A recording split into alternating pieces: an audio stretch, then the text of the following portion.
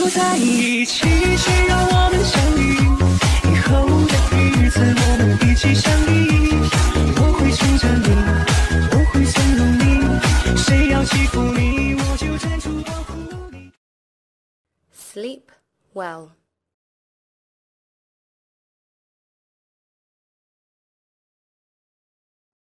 Hai went back to the general doctor that he saw the previous week. These pills you gave me didn't work. Really? Why? Hai said that the pills were supposed to put him in a deep sleep, so that his strange nightmares would stop. But now I just get a different nightmare. I haven't had a good night's sleep in a long time. The doctor considered the problem. Hai was a little fat. The doctor explained to his patient, Well, sometimes the effect is lessened if you're dehydrated or eating a lot of fat. Are you drinking enough water and eating healthy? Hai admitted that he took the pills with a beer instead of water. He promised to change. The next week, Hai went back to the hospital. Doctor, I'm telling you, being on medication is not helping. I'm still not getting any proper rest. What's the nightmare this time?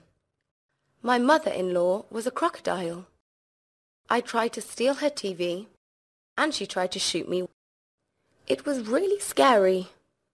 Well, said the doctor, those pills work slowly.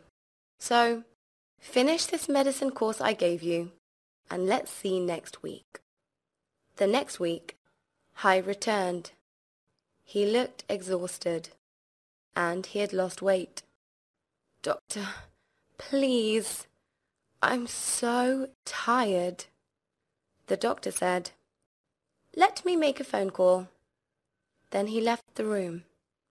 When he returned, he brought a new packet of capsules. Okay, Hai. I made a phone call and went to the pharmacy. Here is the better medicine, the doctor said. But first, lock your door. Why?